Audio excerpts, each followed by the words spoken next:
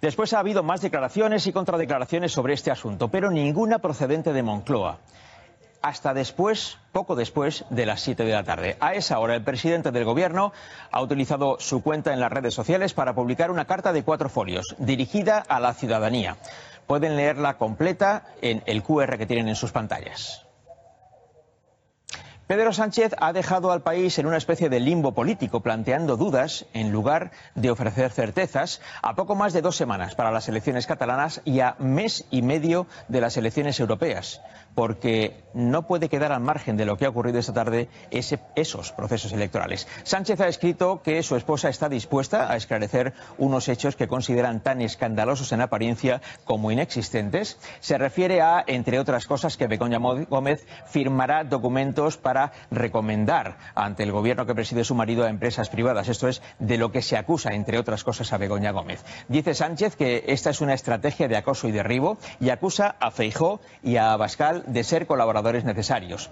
Dice también que faltaba la judicialización del caso y que ese paso es el que se acaba de dar. Dice que no es ingenuo, pero que sí es consciente de que denuncian a su mujer no porque haya hecho algo ilegal. Dice que ellos saben que no hay caso, sino por ser su esposa. Acusa a la derecha y a la ultraderecha de no haber aceptado el resultado de las elecciones y de traspasar la línea del respeto a la vida familiar de un presidente del gobierno. Dice estar profundamente enamorado de su esposa y anuncia que necesita parar y reflexionar sobre si debe o no debe continuar al frente del gobierno, sobre si debe continuar o renunciar. Y dice que suspende su agenda para hacer esa reflexión y que el próximo lunes comparecerá ante los medios para dar a conocer su decisión. Han pasado dos horas desde que se hizo pública esta carta. Ángel Carreira está en el Palacio de la Moncloa. Ángel, ¿qué se dice en los alrededores del presidente? Vicente Sánchez está dolido y disgustado por esta situación, reconocen fuentes del Gobierno y que también dicen que eso se ha podido ver en el semblante del presidente hoy en el Congreso. Después de dos llamadas con dirigentes internacionales, a las siete y nueve minutos de la tarde ha publicado esa carta a la ciudadanía en la que hace ver que considera muy grave lo que llama estrategia de acoso y derribo, de la que culpa a Pepe y Vox, y que eh, la tensión toca lo personal. Eso le hace preguntarse si merece la pena seguir adelante o renunciar al honor de presidente el Gobierno de España. Lo hace después de conocer la denuncia contra su mujer.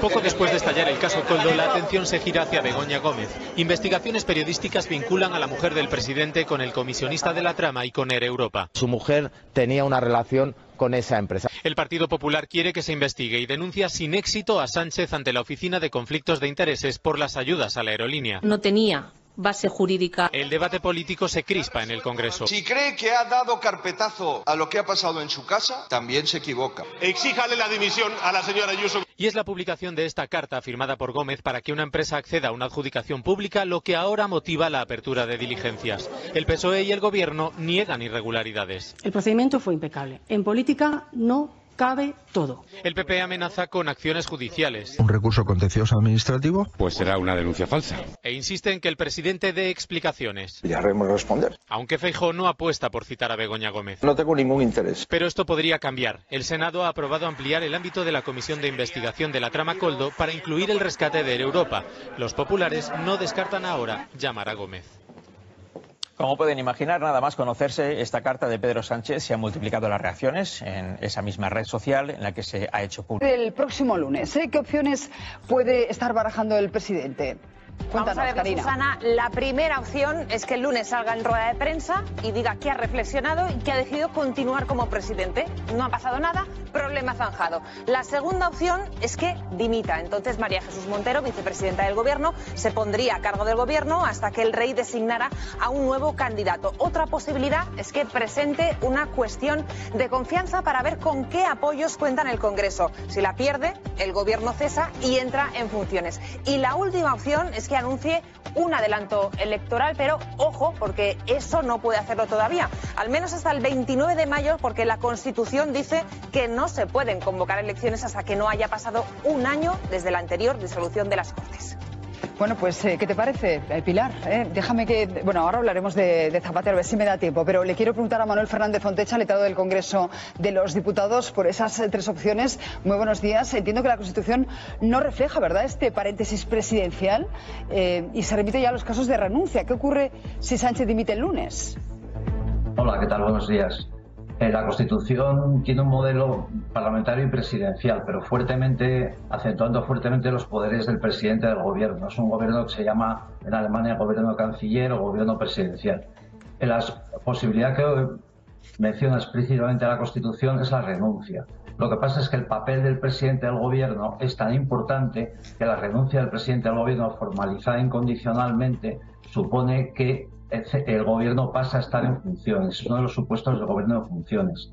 La práctica que se siguió en el caso del cese de dimisión de Adolfo Suárez no fue que asumía el vicepresidente primero la presidencia, sino que todo el gobierno, incluido el presidente Suárez, entró en funciones. Así se deduce de los actos publicados en el BOE. Entonces, esto es una cuestión. La renuncia acarrea la inmediata tramitación de la renuncia y tiene efectos en otros órganos, como son iniciar el procedimiento de eh, provisión de otro candidato al amparo del artículo 99, unas nuevas consultas. En el año 1981 eso de eh, mi marcha es más beneficiosa para España que mi permanencia. ¿eh? ¿Cuándo puede convocar elecciones el presidente Sánchez si opta por esa segunda opción? Pues lo que dice la Constitución es que con un mes de anterioridad, con un, no se puede hacer con un año de anterioridad. Entonces, ¿qué quiere decir? Que se publicó en el Boletín Oficial del Estado, se publicó la anterior disolución, si no me equivoco, el 30 de mayo. Entonces tendría un plazo obligado de no posibilidad de disolver hasta el mismo día 30 de mayo de este año. En ese supuesto habría que esperar eh, básicamente a la finalización del plazo para que pudiera disolver. No puede disolver antes. No es planteable ni siquiera una, eh, una disolución con un efecto temporal anticipado porque eso sería un, posiblemente un fraude de ley. Manuel Fernández Fontecha, muchísimas gracias. La tercera opción sería esa cuestión de confianza y para eso, bueno, pues según dicta el artículo 112 de la Constitución, previa deliberación del Consejo de Ministros, el presidente del Gobierno puede plantear ante el Congreso de los Diputados esa moción. quiero recuperar un fragmento porque habla el presidente de una conversación que tuvo contigo. ¿eh? Hay un pasaje muy concreto. Las aguas bajaban muy agitadas y en medio de todo aquello una conversación fue especialmente fructífera, la que mantuve con Cándido Méndez. Él es un hombre de partido, honesto y con una visión política clara, construida en una trayectoria como secretario general de UGT, me dijo, tienes que hacer dos cosas. La primera, dejar el escaño. La segunda, volver a presentarte. ¿Tu consejo lo acabas de dar? Bueno, Tiene que convocar elecciones pasadas las europeas. Hay que tener en cuenta que entonces yo no era nadie, era un jubilado, yo tampoco. Él era un diputado de Bueno, pero has visto el crédito que te da. Y, lo que estábamos, eh, eh, eh, tuvo la deferencia, que le agradezco, además, eso obedece rigurosamente a la verdad, ¿eh? tuvo la deferencia de preguntarme, le dije, mira, si quieres volver a ser secretario general del partido, ni puedes votar en contra de lo que ha decidido tu partido, ni puedes quitarle un voto a tu partido con tu ausencia. Esa fue la conversación. Bueno, yo eh, lo que acabo de decir es lo que es lo que pienso, porque hay que clarificar. Por todo aquello que comentaba, la acumulación de contradicciones. ¿A qué conclusión creo que ha podido llegar? Que el relato no sirve, que las sociedades democráticas no es verdad que la verdad la cree el poder. Tú puedes hacer un relato, pero si el relato está al margen de la realidad, está al margen de la realidad. El, relato ha cambiado de golpe, porque nos decían que había legislatura para rato, ¿eh? que se iba a, bueno, pues Por eso, a estar tres años yo gobernando creo que ha llegado el momento de la verdad. Y ahora ya lo cuestionamos. ha llegado el momento de la verdad, de la claridad, de la claridad. Y decirle al electorado, y, y ahora, pues porque hay otras dos circunstancias que no se pueden perder de vista. No tiene presupuesto y el coaligado menor está en una situación de debilidad extrema. Y encima tiene un enfrentamiento respecto a una política de primera magnitud como es la política de defensa. Pues eh, eh, eh, en estas condiciones parece complicado agotar la, yo la, la conclusión de que hay que hablarle con claridad al pueblo Como Informativo que la noticia de que el presidente del gobierno a través de una carta que ha publicado en las redes sociales, amaga con abandonar el poder. Dice que el próximo lunes anunciará su decisión sobre si continúa o sobre si renuncia. Pues bien, a esta hora tenemos ya la primera reacción del líder de la oposición, Alberto Núñez Feijóo. Está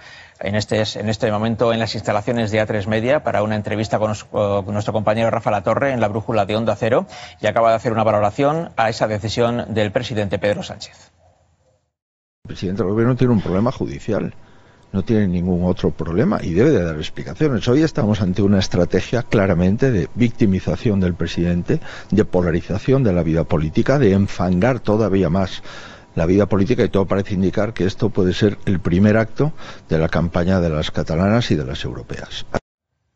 Ya lo han escuchado. El líder del Partido Popular habla de victimización y de que el presidente del gobierno está utilizando esa carta a la ciudadanía, así la titula del presidente a través de las redes sociales, como un acto de campaña electoral de cara a esas elecciones catalanas que se celebran el próximo 12 de mayo.